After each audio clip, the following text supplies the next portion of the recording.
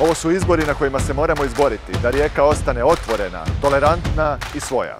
A onda ćemo joj zajedno dati jedan novi ritam. Izgradit ćemo tisuću novih stanova za mlade i dva nova vrtića. A kroz nove investicije i jaku podršku poduzetnicima otvoriti dodatna radna mjesta. Povećat ćemo plaće smanjenjem prireza na 10%. Dragi moji riječani, pojačat ćemo rijeku. Udarimo zajedno novi ritam našem gradu. Marko Filipović za novi ritam grada.